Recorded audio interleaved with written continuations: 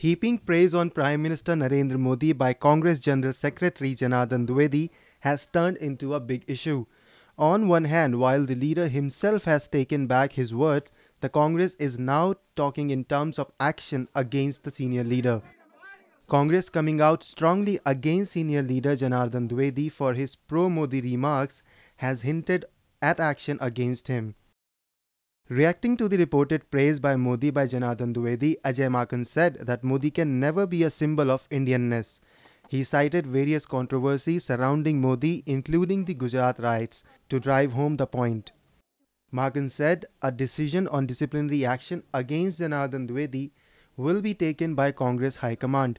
Dwivedi, Congress General Secretary, was quoted by a web portal as saying that Modi has started a new era. Modi has been successful in convincing people that from a social point of view, he is closest to Indian citizens. His is a victory of Indianness, Dwivedi was quoted on the interview as saying. However, later on he clarified he was misquoted. और इस प्रकार से नरेंद्र मोदी जी को भारतीयता के साथ में उनकी तुलना करने की घोर और कड़े शब्दों में निंदा करती है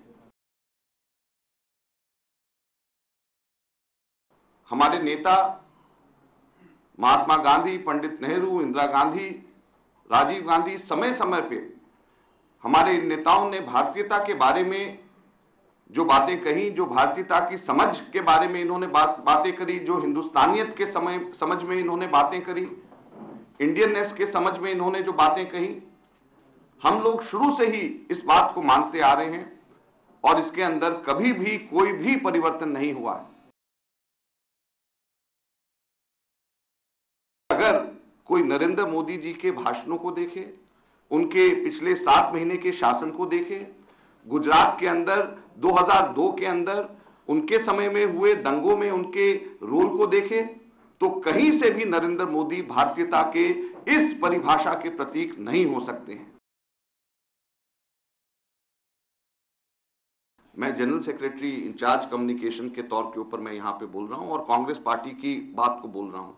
ये मेरी व्यक्तिगत बात नहीं है, नाराज़गी है तो मैं कांग्रेस पार्टी का जनरल सेक्रेटरी इंचार्ज कम्युनिकेशन के तौर पे, चीफ स्पोक्स पर्सन के तौर पे मैं ये बात कह रहा हूँ एक, दूसरी बात, जहाँ तक अनुशासन, अनुशासनात्मक कार्रवाई की बात है, इसका फैसला शीर्ष नेतृत्व बहुत जल्द करेगा पावर्ड by NNIS.